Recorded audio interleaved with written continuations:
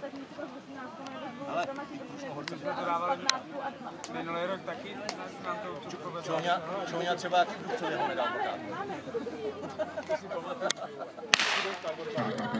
úspěšně startovali kluci z Kořáně. Takže 45 let.